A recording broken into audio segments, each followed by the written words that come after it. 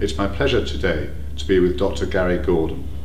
I'm sure many of our viewers don't need an introduction, but Dr. Gordon is the father of chelation and a leading light in the field of preventative and anti-aging medicine. Now I think today we're going to be talking about uh, energy medicine and in particular pulsed electronic magnetic field therapy or something that is more commonly referred to as PEMF. So it's a real great pleasure that I'm here in front of you and I have the opportunity to hear what you have to say about the subject. Thank you.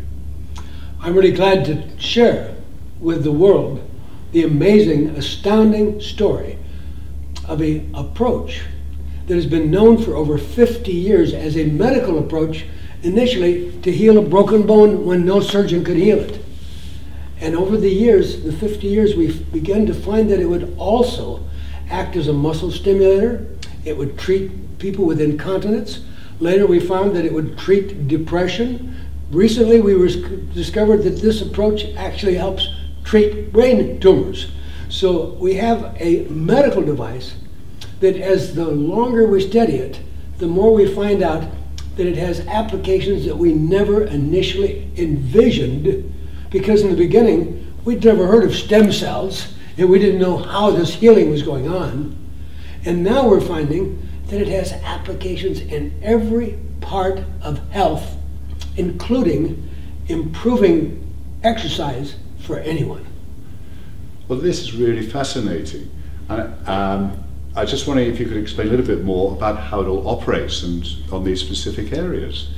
Well, the pulsed electromagnetic field device, of which there are many since it's been around for over 50 years, we have the bottom line is that it is always something very simple. You're going to get some power from the electric in your home, and you can convert that into magnetic energy.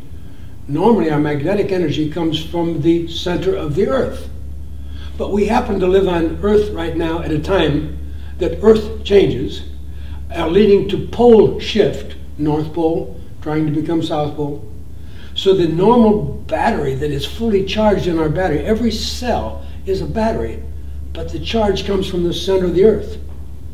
And it right now has lost 95% of its power. So no one is fully charged today. And so the applications for pulsed electromagnetic field become as diverse as all aspects of health. But if we look at the big picture, it is as simple as laying down on a table and we could put a mat or a coil underneath your body and be putting this magnetic energy into your body, or I can treat just somebody's knee that